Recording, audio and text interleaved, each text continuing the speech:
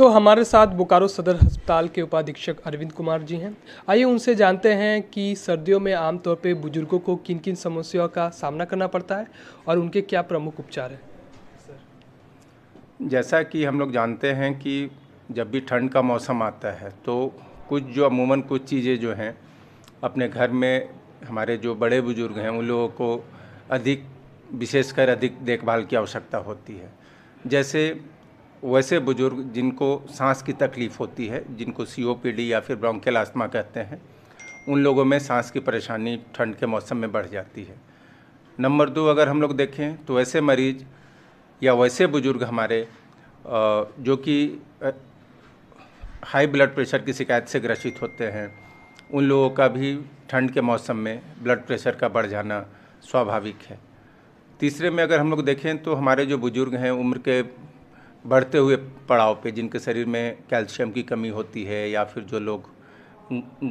गठियावाद की शिकायत से ग्रसित होते हैं, उन लोगों में जोड़ों का दर्द भी अमूमन ठंड के दिनों में बढ़ जाता है। तो इन चीज़ों को ध्यान में रखते हुए, इन तरह के मरीजों के लिए सबसे पहले है कि जो हमारे हार्ट के मरीज़ हैं या फिर जो हमारे हाई ब्लड प्रेशर के मरीज़ हैं, वो नियमित रूप से अपने स्वास्थ्य जाँच कराएँ। नंबर दो, इन लोगों को ठंड से बच के रहने का एक विशेष ख्याल रखना होता है।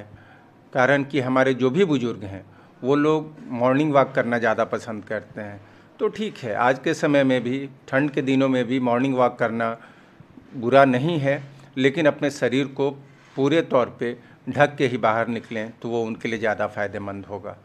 नंबर दो, जिन लोगों को सांस की तकलीफ़ होती है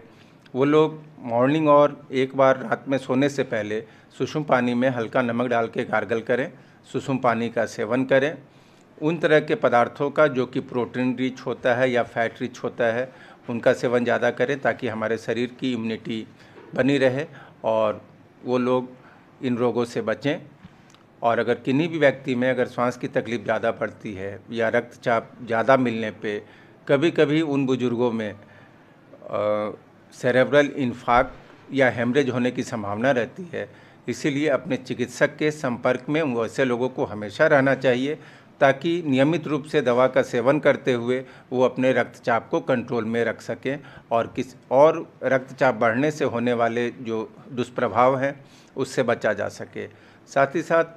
जिन लोगों को गठियावाद की शिकायत है, उनके लिए भी यही है कि अपने शरीर को गर्म रखें। जिन जॉइंट्स में पेन है उनको गर्म पानी से सिकाई करके, थोड़ा तेल को हल्का सुषुम गर्म करके उससे मालिश करें, ताकि हमारे जो भी बड़े बुज़ुर्ग हैं, वो जिन चीज़ों के विषय में हम लोगों ने चर्चा करी, या वो रक्तचाप से संबंधित हो, या उनके श्वसन क्रिया से संबंधित हो, या उनके जोड़ों के दर्द से संबंधित हो, इससे उनको हम लोग आराम दिला सकें, और इनसे होने वाले जो भी दुष्प्रभाव हैं उनसे हम उनको बचा के सुरक्षित रख सकें। और सर आमतौर पर जो बुज़ुर्ग हैं वो किस तरह के खान पान का अधिक सेवन करें देखिए हम लोग अगर आमतौर पे देखें तो हमारे जो भी बुज़ुर्ग हैं जनरली वो एक उम्र के पड़ाव पे आते आते वो